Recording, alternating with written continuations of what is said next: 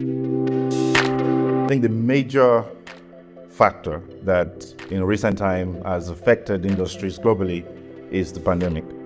And the pandemic had a, accelerated impact on technology first, because when everybody couldn't go out, we had to look to technology to save the day. For from groceries to healthcare to people spending time with Netflix and chill and um, getting on Zoom calls. So tech had to ramp up to save the day, literally. And this meant that there were major shifts in the acquisition of talent and technology globally.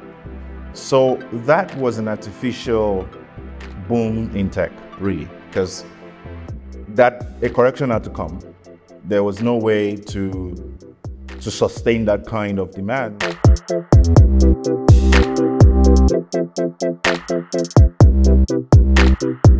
Thank you.